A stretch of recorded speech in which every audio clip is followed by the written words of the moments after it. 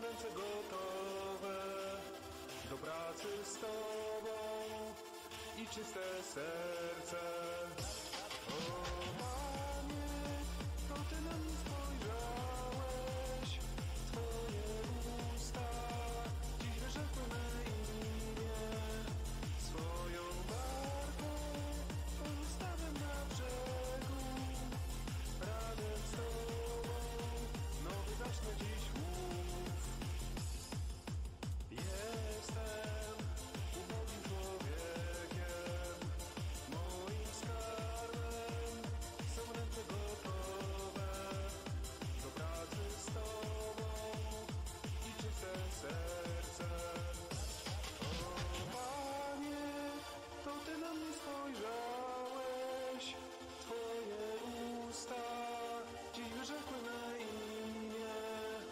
for